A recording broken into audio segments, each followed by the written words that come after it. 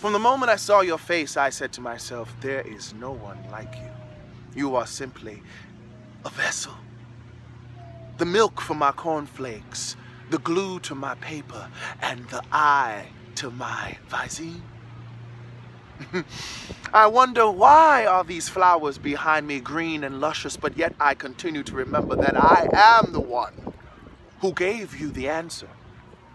I know what this is. Pitter pat, Mr. Rogers told me. No ha. Ask me, but leave me gentle. And make sure you pick up the pieces.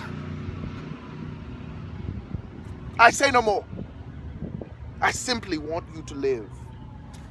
And live with a vigorance that is so spectacular that your cable will run and your DVR will set. You're watching On the Spot Monologues with Rhett George.